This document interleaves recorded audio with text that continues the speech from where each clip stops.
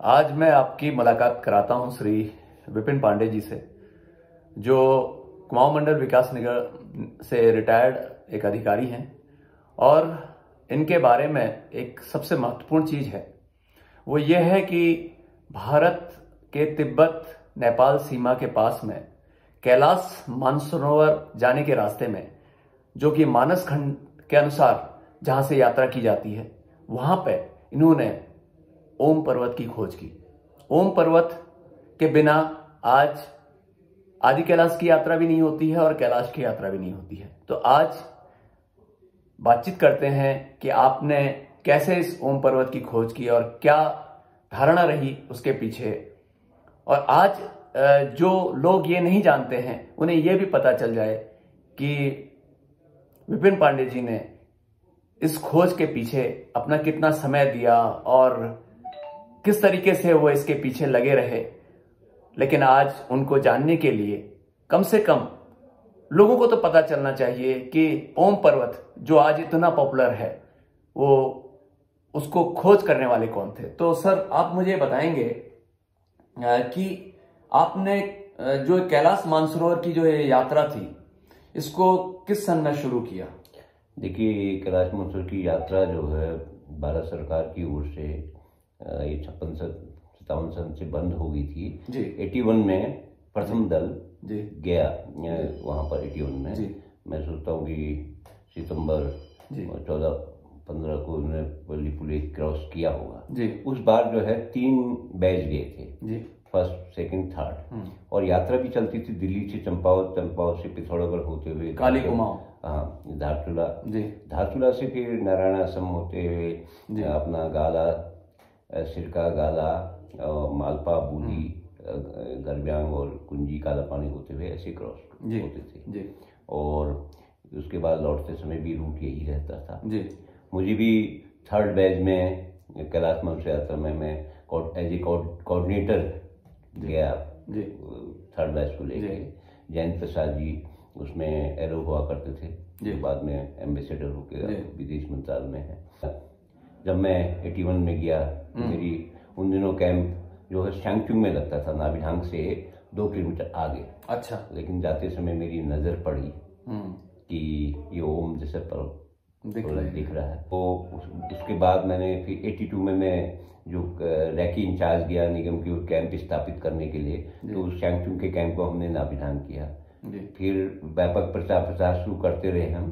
उसके बाद नहीं एक बात मैं कहना चाहूँगा कि 1981 में हम्म। जब आप कैलाश मानसरोवर की यात्रा में गए हाँ। तो उस वक्त तक ओम पर्वत का एग्जिस्टेंस किसी की नज़र में नहीं होने को तो देखे थे इस साल प्रेमानंद स्वामी जी वहाँ रहे और आपके कहीं पुराणों में कहीं उसमें वर्णन नहीं मिलता है देखिए कैलाश मानसरोवर के भी अल, अलग अलग रूट है कैलाश यात्रा के देखिए एक अगर देखिए आपका ये लिपुलेक वाला हुआ हम्म। दूसरा आपका जोशीमठ से हाँ। है। हाँ। उधर बद्रीनाथ से हुआ था। हाँ, उधर मुंसारी से उटा धुरा होते हुए ज्ञाना मंडी वो था। हम्म। इसके अलावा हिमाचल से है कश्मीर से है।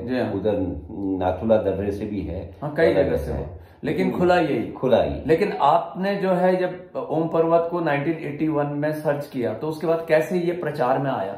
लोगों की नज़र में कैसे आया कि फिर हमने व्यापक प्रचार प्रचार किया बल्कि जब लोग आते थे फिर मैंने 84 में अपनी ड्यूटी स्वयं इच्छा से नाविडांग में लगाई। ओके। और एक एक यात्री को हम कागज़ में ओम का चित्र बना के वो देखिए सामने दिख रहा है करके है ना? हाँ। और तो इस तरह से प्रचार प्रसार हुआ फिर हुआ।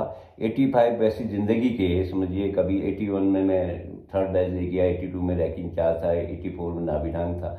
मैं रहा। 85 में मैं जो है कैलाश भी गया हूँ और के जब ये ओम पर्वत आपने सर्च किया उसके बाद से इसके फ़ोटो लोगों के पास आए और लोगों ने इसका प्रतिरूप देखा कि वास्तव में इस जगह पे ओम जैसा बना हुआ है। जी जी। तो फिर बाद में काफ़ी लोग इसमें हुए। जब मैं कैलाश गया तो वहाँ पर एक देसाई जी जो बाद में अपना संन्यास ले लिया था उनसे मेरी बात हुई। कि साहब, ये ऐसा जो लोग के पास इतना पैसा नहीं होता, पासपोर्ट नहीं होता है तो इस टाइप का आदि क्लास का भी टूर चलना चाहिए। उन्होंने देसाई जी ने, बॉम्बे के थे, उन्होंने वासीकर जी से बात की, फिर ये नाइन्टी से जो है आदि क्लास का भी टूर चलने लगा। देखिए नाइन्टी से आदि कैलाश का टूर चलाने के पीछे और उस वक्त से कैलाश मानसरोवर यात्रा और आदि कैलाश का टूर चलाने के पीछे आपने बहुत मेहनत की है। लेकिन सबसे महत्वपूर्ण चीज़ आज भी ओम पर्वत जिसको आपने खोज किया उसके बारे में ये कहा जाता है कि अगर आप गूगल में सर्च करें तो भी आपको श्री विपिन पांडे जी का नाम आ जाएगा कि गूगल में कि किसने जो है ओम पर्वत सर्च किया। तो आप मुझे बताएँगे कि उस वक्त आपकी उम्र कितनी थी जिस वक्त आपने हाँ, चौबीस वर्ष करीब उम्र थी। तो 24 वर्ष की उम्र में आप नाभिढांग में कितने महीने रहा करते थे उस एल्टीट्यूड में टाइम में 84 में मैं चार महीने रहा। लगातार? लगा। तो उस बीच में एटी एटी वन में भी हमारे जो G N Pandey ji divisional manager tourism थे उनकी ड्यूटी थी। बाद में उन दिनों ऐसा था पंद्रह दिन तक वहाँ रहना पड़ता था। तो फिर जी एन पांडे जी से हमने कहा हम थर्ड बैच के लिए भी पंद्रह दिन आप कहाँ तो मैं ही चैंगचुंग में रहे उस टाइम में। तो आपको उस बीच में ऐसी स्थितियों में नेचर के साथ इतना लगाव हो गया था कि आपको घर की याद भी नहीं आती थी? नहीं नहीं देखिए नेचर घर अपनी जगह है नेचर नेचर है। हमारा तो गुरु ही नेचर है। आज की डेट में भी हम 10 15 20 किलोमीटर डेली चलता करने की कोशिश करता है और हमारा डॉक्टर ही बाया पैर और दाया पैर है। दो डॉक्टर है हमारे। तो एक चीज़ और आप मैं बता दें कि अभी आप आजकल वर्तमान में भीमताल में हैं और एडवेंचर स्पोर्ट्स से अभी भी जुड़े हुए हैं। पैराग्लाइडिंग हाँ पैराग्लाइडिंग में पार्टनरशिप है। ब्लू ईगल पैराग्लाइडिंग के नाम से। जी हाँ। जी। तो उसे आप अभी यहाँ पे भीमताल से संचालित कर रहे हैं। हाँ तो यहाँ चलता है। अब देखिए अब अब टूरिज़्म जो है पहले पैदल से चला बैलगाड़ी से चला अब जम्बू जेट में चले गया। हम्म। और टूरिज़्म के पैटर्न भी बदल गया। जैसे पहले ये था जनवरी फरवरी कपल सीज़न हुआ करता था मार्च अप्रैल बम्बई गुजरात का था मई जून दिल्ली का जुलाई अगस्त पंजाब का सितंबर अक्टूबर जो है बंगाल का का उसके बाद नवंबर फिर बम्बई गुजरात का और फिर थर्टी हाँ। फ़र्स्ट का टाइम था। आज पैटर्न बदल गया सैटरडे संडे वाला हो गया।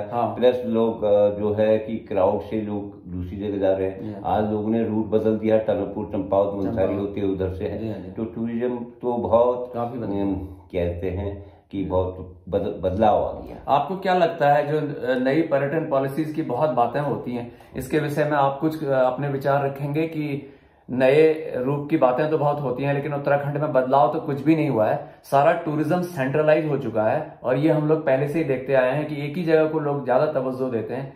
भले ही लोगों ने काफ़ी जगह काफ़ी अच्छी जगह छूट जाती हैं क्या आप चाहते हैं कि नई पर्यटन पॉलिसी में किस तरह के बदलाव होने चाहिए? आपके अनुभव क्या नंबर एक बात जो इस ग्रास रूट से जुड़े हुए लोग हैं उनको इसमें शामिल करना चाहिए। टूरिज़्म पॉलिसीज़ में आप आदमी को ये नहीं सोचना चाहिए ग्रामीण अंचल का आदमी है वो ज़्यादा जानता है। दूसरा बात यह है कि आपकी जो आप सारा जैसे नैनीताल में टूरिज़्म सेंट्राइज होगा तो एक हर जगह की एक कैपेसिटी होती है। ना ना जीप की कैपेसिटी है बस की कैपेसिटी है ऐसी इस शहर की कैपेसिटी उसको डिसेंट्राइज करना चाहिए सेटेलाइट प्लेसेस को डेवलप करना चाहिए।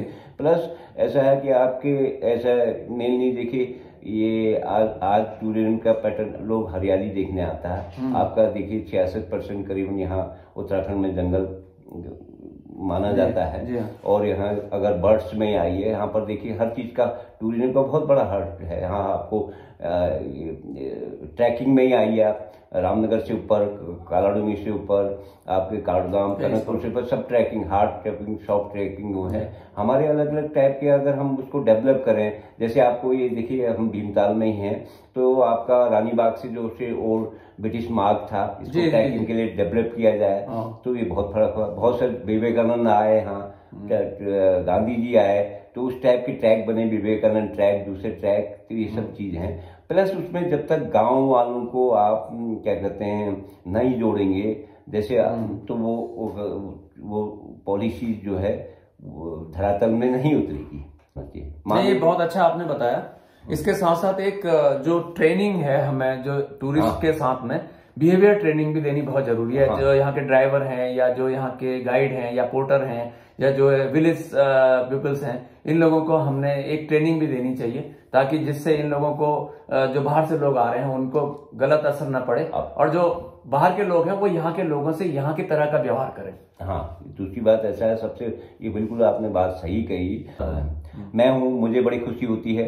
कि एक शांता सुखाया होता है एक प्रांता सुखाया होता है हम्म। लेकिन मुझे बड़ी खुशी होती है जब आदि क्लास को लोग जाते हैं चार घोड़े वालों से लेकर दूसरे से लेकर हर चीज़ को रोज़गार मिलता है। आप ये देखिए अगर एक होटल खुलता है कम से कम साठ ही उद्योगों को बढ़ावा मिलता है। मिलता। आप डायरेक्ट इनडायरेक्ट में आप देखिए कैलाश मानसो यात्रा चलती है आदि क्लास चलती है तो उससे सिक्सटी परसेंट लोगों को रोज़गार मिलता है। तो हमें ऐसा है जब आदमी को सबसे ये पर्यटन का एक असली रचनात्मक और सृजनात्मक रूप ये होगा हम्म। कि लोगों को उसको जोड़ा जाए। और कागजों में नहीं जोड़ा जाए प्रैक्टिकल हम्म। में जोड़ा जाए। नहीं बहुत अच्छा लगा आपके अनुभवों से। बहुत जो आपने बताए हैं और इस तरह से अगर इस पर्यटन को बढ़ाया जाए तो हो सकता है आने वाले समय में उत्तराखंड का पर्यटन काफ़ी विकसित होगा। आपकी एडवाइस के लिए। नहीं जो है पर्यटन का जो विकास किया जाए वो बड़े बैलेंस उसके लिए ट्रेनिंग की सख्त ज़रूरत है। मेन बेसिक सोच की ज़रूरत सोच की भी ज़रूरत है। और पुराने और अनुभवी लोगों से बड़े होमवर्क की बात बड़े होमवर्क की भी ज़रूरत है। ना? चलिए थैंक्स नमस्कार। नमस्कार।